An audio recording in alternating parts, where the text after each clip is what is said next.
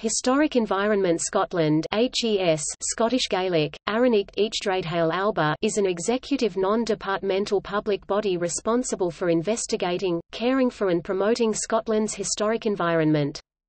HES was formed in 2015 from the merger of government agency Historic Scotland with the Royal Commission on the Ancient and Historical Monuments of Scotland RCAHMS.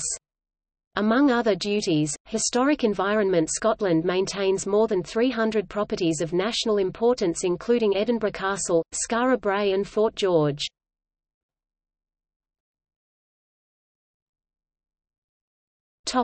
History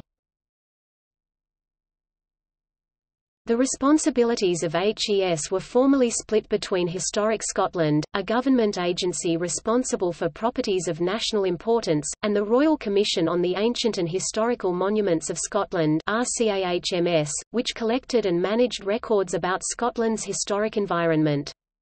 Under the terms of a Bill of the Scottish Parliament published on 3 March 2014, the pair were dissolved and their functions transferred to Historic Environment Scotland. On 1 October 2015, Historic Environment Scotland is a non-departmental public body with charitable status, governed by a board of trustees appointed by the Scottish ministers.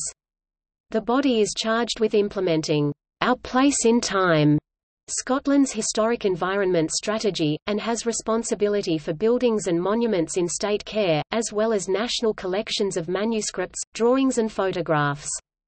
Beyond these collections, Historic Environment Scotland provide funding and guidance for conservation works and education across Scotland. Canmore is an online database maintained by Historic Environment Scotland since 2015. Previously it was maintained by the Royal Commission on the Ancient and Historical Monuments of Scotland.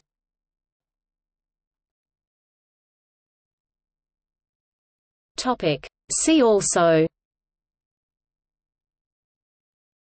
List of Historic Environment Scotland properties Listed buildings in Scotland Scheduled monument Scottish 10 Scottish Natural Heritage who Built Scotland, A History of the Nation in 25 Buildings.